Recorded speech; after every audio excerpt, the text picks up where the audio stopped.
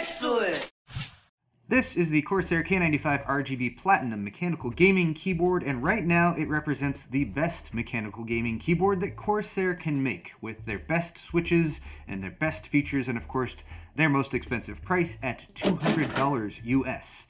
Why does it cost $200? Well, let me tell you all of the things that it has. First, Cherry MX speed switches, already detailed upon their introduction in my Corsair K70 rapid fire video. I'll link that up in the corner.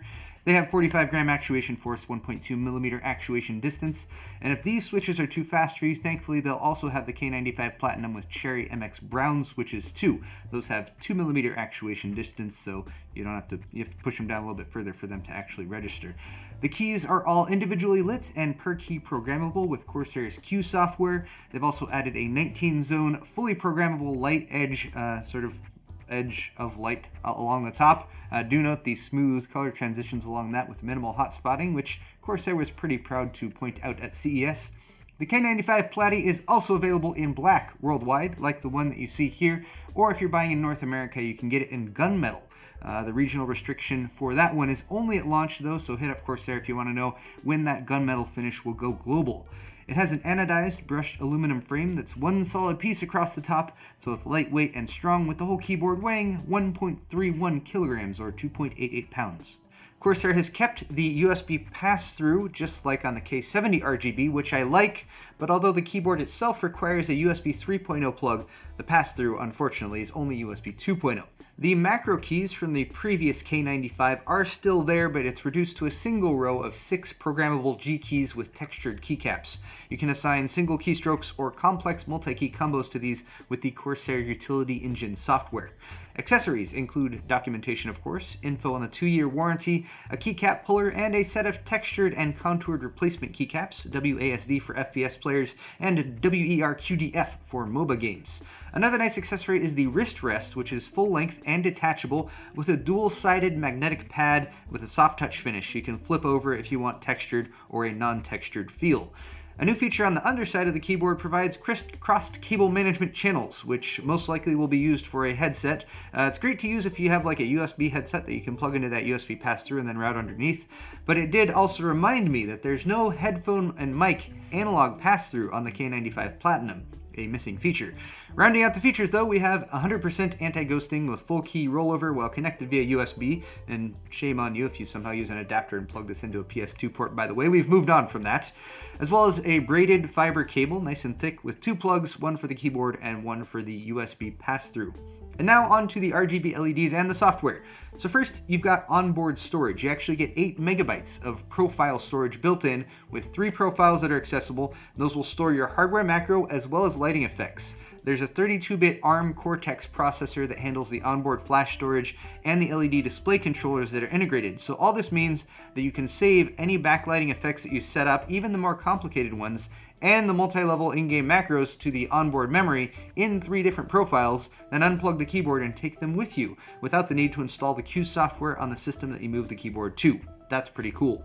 That Cortex processor in there is also nice and fast, so the software updates that you do in the software right to the keyboard with pretty much no wait time at all unless you're doing a firmware update, and that only takes a few seconds. The CUE software has come a long way, and you can also use it to control and sync Corsair headsets and mice and even mouse pads. And I like that they've separated the advanced sections so it's a little bit less daunting for new users. The complexity of this software was uh, a bit of a barrier to entry for new people. It will prompt you to update firmware when available when you plug the keyboard in and it detects it and then macros can be set up in the Actions menu, while lighting effects are available in the Lighting Effects section. Cool looking effects presets can be selected, such as Rainbow Spiral, Rainbow Wave, Color Shift, Visor, Rain, and more. And there's reactive modes as well, so you can type and it reacts to your typing or your system sound. They're also available too. You can also download community-made configurations, which is great for finding new lighting configurations, and you can stack modes on top of each other, such as layering the visor effect over Rainbow Wave, for example, which leads to some pretty unique combinations. Also, you can control the light edge along the top individually if you prefer to have it separate from the uh, lighting that's going on with the keys. Now, I haven't mentioned them yet, but there are also six dedicated multimedia keys here on the top right. Those are still there, including the nicely textured volume roller. And the backlighting for these buttons is also RGB, along with the Windows lock key, which is over here. And there's also brightness and profile switches on the top left All those have RGB in them. You can control them all and synchronize them with the RGB that's going on with the rest of the keys on the board. Hooray! So, on the plus side, the K95 Platinum definitely brings together a sweet spot collection of features for a mechanical gaming keyboard that stands out a bit from Corsair's previous op offerings. I like that it updates quickly and the software is also very robust now, and I didn't even delve into the advanced settings for this video.